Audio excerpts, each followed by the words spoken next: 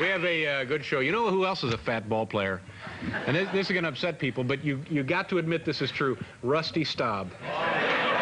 As this, oh, all right, but take a look. The man in the off season, it was his goal. I'm going to gain 80 pounds, and he's fat. Yeah, of course he's a, he's the Rusty the gourmet chef, but he's he's enormous, ladies and gentlemen. But this Terry Forster, Forster, if you get a chance, this might be worth, by the way, renting a bus driving to Atlanta to see a game.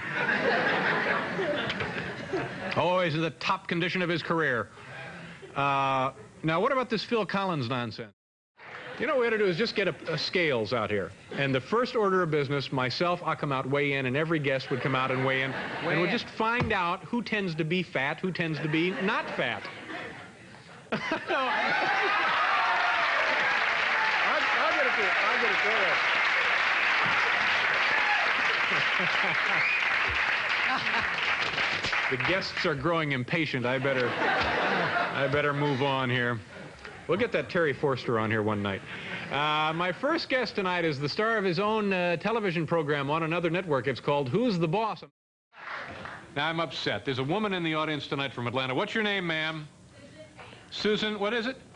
Cam, how do you spell your last name, Susan? C oh, Susan Camp. Oh, I'm sorry. I heard like a half a dozen syllables there. I'm sorry. I know, I know. Forgive me. It's, uh, it's Susan Camp. Right. Yeah, that's right. And uh, now Susan, uh, just moments ago, she was uh, kind of laying on me about uh, making fun of Terry Forster, who is the relief pitcher from the Atlanta Braves, who is, uh, he's fat. and, and you're upset by that as a representative from that great city in the southeast? You know, it's the busiest airport in the southeast is Atlanta. You're unhappy? The whole, the whole city's unhappy with me? No, no, no, you've got this backwards, Susan. They should be, they should be unhappy with that balloon Terry Forster.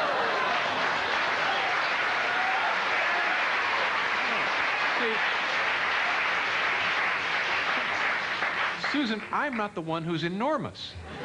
If, if I were the big fat guy, then they could be mad at me. But they should be mad at Terry, don't you think? Oh, no, he doesn't represent your city. You have many other wonderful representatives of your city. What about Ted Turner? Well, um, uh, what about Dale Murphy? Now, there's a man, a fine ball player, and you won't find an inch of fat on him. And I have a feeling you've looked. No, no, wait a minute. Hold it. Stop it here. Hold it. This could get ugly. Um,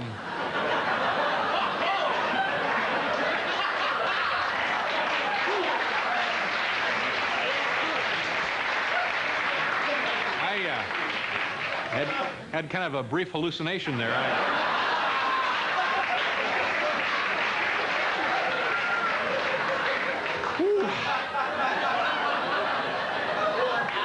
Apparently the lead count in our water is running a little higher than... uh, now, are you really mad or are you just pretending you're mad? No, sit down. We're all, almost done. Are you really mad or you, you, you're not really mad, are you? You really? Oh, brother. All right, well, we'll do something, a little something for you tonight to, to try and make it up to you. Okay? Uh, Susan was talking about uh, my uh, talking about uh, Terry Forster, and and and uh, we've been thinking about it. And maybe I was hasty in calling the man fat and and uh, hinting that perhaps he wasn't in top flight condition for an athlete. But we did some research, our staff did, and we found that there are other athletes who are quite successful as professionals in their field of endeavor who also are a little heavy. So sort of by way of apology to Atlanta and Terry Forster, we put together this little salute to some very successful athletes who also weigh just about as much as Terry does. Watch, watch the monitors there, and we'll see what happens here.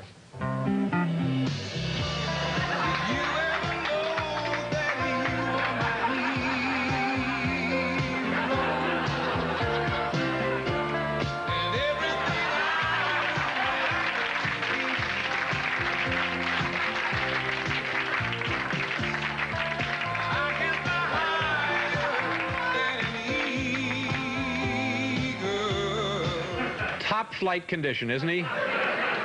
You see him every night out there at the ballpark. He must run an hour of wind sprints. Um, just a joke. Now, are you really steamed, ma'am? Will you stay for the rest of the show? Well, oh, we'll, we'll get something for you. Don't worry. She's awfully greedy, isn't she? Yeah. You know, you know, Paul, what I have here? Uh, the last couple of nights we've been talking about Terry Forster, and by the way, I think this is it for Terry. I think we're done talking about him. But uh, somebody was kind enough to send in a, uh, a, a baseball card featuring Terry Forster. Here, here's Terry right here. Now, if anybody has seen Terry recently playing, they know that this photograph was taken when Terry was 12. now, we have interesting facts about Terry on the back here. Now, I've, I've been making fun because he seems to be a little larger than your average ball player. Uh, height is 6'3", weight 210.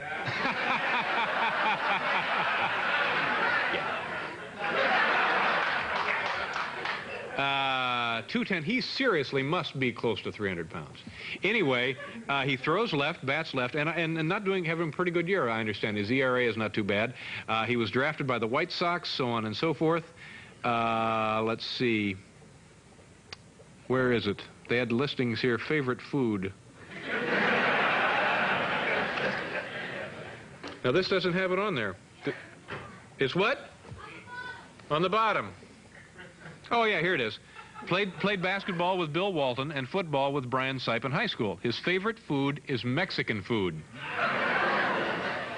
and plenty of it. Uh, among his favorite books are Rage of Angels.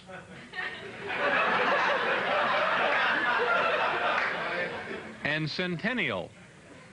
Uh, Terry plans to travel the world. Well, those plans have been changed. He decided to eat the world, so.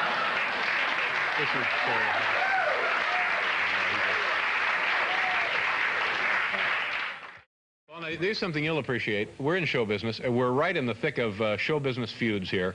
Uh, so I'm gonna I'm gonna update them for you and let you know where we stand. And this is uh, this will be the last time I'm gonna mention it. But let's just clear the air here for you. This is the Terry Forster debacle. Uh, pitcher for the Atlanta Braves. I called Terry enormous.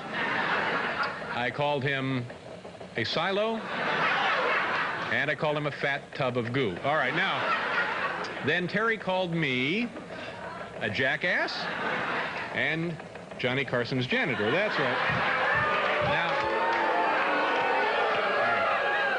now uh, Terry still owes us one, and then we'll update that one. Now.